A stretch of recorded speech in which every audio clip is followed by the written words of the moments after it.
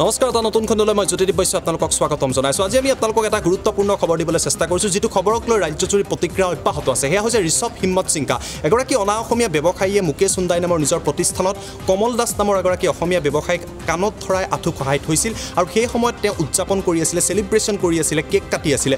এই সমগ্ৰ দৃশ্য সংবাদ মাধ্যমত প্ৰকাশ হোৱাৰ পাছতেই ছ'চিয়েল মিডিয়াত প্ৰকাশ হোৱাৰ পাছতেই ৰাজ্যজুৰি প্ৰতিক্ৰিয়া হৈছিলে।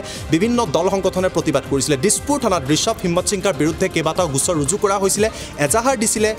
যিগৰাকী ব্যক্তি আছিলে যিগৰাকী ব্যক্তিক নিৰ্যাতন চলোৱা হৈছিলে তেওঁ এজাহাৰ দিছিলে আৰু এজাহাৰৰ ভিত্তিতে অৱশ্যে দিছপুৰ আৰক্ষীয়ে অভিযান চলালে আৰু অভিযানৰ সময়ত আজি ঋষভ হিম্মত সিংকাক দিচাং ৰিজৰ্টৰ পৰা আটক কৰা হয়। আৰু ইয়াৰ পাছতে আৰক্ষীয়ে তেখেতক দিছপুৰ থানালৈ লৈ আহে। সাধাৰণ কয়দীৰ দৰে তেখেতক লৈ অহা হয় ইতিমধ্যে আমি যি তথ্য লাভ কৰিব সক্ষম হৈছোঁ যে ঋষভ হিম্মত সিংহাক চৈধ্য দিনৰ ন্যায়িক জিম্মালৈ আদালতে প্ৰেৰণ কৰিছে আৰু সকলোৱে দাবী কৰিছে যে ঋষভ হিম্মত সিংকা এই ক্ষেত্ৰত শাস্তি পাব লাগে আৰু তেওঁ ক্ষমা বিচাৰিব লাগে। এগৰাকী কোনো এগৰাকী হয়তো ব্যক্তিয়ে নাই বা কৰ্মচাৰীয়ে হয়তো ভুল কৰিব পাৰে কিন্তু এইদৰে কাণত ধৰাই এগৰাকী ব্যক্তিক নিৰ্যাতন চলোৱাৰ কোনো এগৰাকী মালিকৰে নাই আৰু সেই কথাই আজি ৰাজ্যবাসীয়ে কোৱা পৰিলক্ষিত হৈছে। আমি আপোনালোকক আৰক্ষীৰ মন্তব্য বিষয়টোক লৈ দেখুৱাই লৈছোঁ।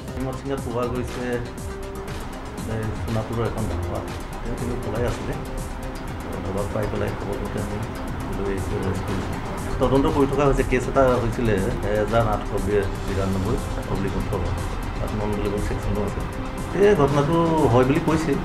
ভুল হৈ গ'ল বুলি কৈছে। সেয়া আপোনালোকে দেখিছে বিষয়টোক লৈ প্ৰতিক্ৰিয়া অব্যাহত আছে বিভিন্নজনে। এটাই প্ৰশ্ন কৰিছে কোনো কাৰণতে অসমীয়াৰ ওপৰত একাংশ লোকে কৰা নিৰ্যাতন সহ্য কৰা নহ'ব আৰু ঋষভ হিম্মত সিংকাই অনতিপলমে বিষয়টোক লৈ ক্ষমা বিচাৰিব লাগে। বিষয়টোক লৈ আপোনালোকে কি ভাবে নিজৰ মন্তব্য দিবলৈ নাপাহৰিব তাৰ লগতে আমাৰ চেনেলক লাইক আৰু ছাবস্ক্ৰাইব কৰক। ইয়াৰ জৰিয়তে সদায় নতুন খবৰ যিকোনো মুহূৰ্তত আমি আপোনালোকক দি থাকিবলৈ চেষ্টা কৰিম। ধন্যবাদ শুভৰাত্ৰি।